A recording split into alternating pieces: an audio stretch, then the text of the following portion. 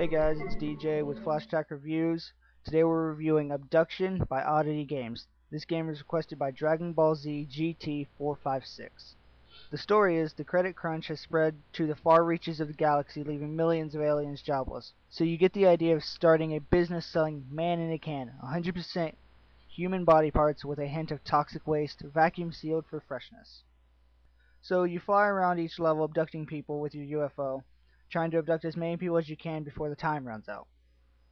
And also trying to dodge whatever they throw at you, or whatever flies past you. We give the sound in this game zero. The people's sounds are nice, and it has a nice alien theme, which reminds me of the alien music from Zombies Ate My Neighbors, but it loops and gets very annoying. Two stars for graphics. Really nice graphics. I like the way the title and the comic strip at the beginning look. It has a nice art style to it. For as tiny as the people are, they look pretty good. I also think it's fun that you can pick up Elvis. I just thought that was a fun little thing you could do. We give it two stars for gameplay. This game is fun but can get a little boring. And the upgrades to the ship are a little overpriced. You can upgrade things like how fast your beam picks up and how much you can pick up at a time.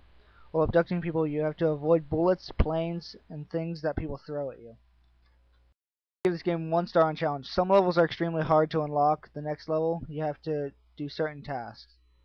Like abduct six girls in a row or kill ten people with a rock. Some levels take a good five to ten playthroughs just to beat it. We give it a one star on time. This game can take around an hour to beat. Some of the levels can take a long time to beat.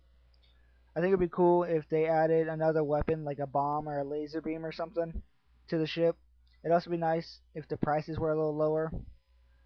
Nice if they had some different buildings and took it to different countries, so you could attack like France with like Eiffel Towers or the Leaning Tower or something, instead of just two houses and hillbillies.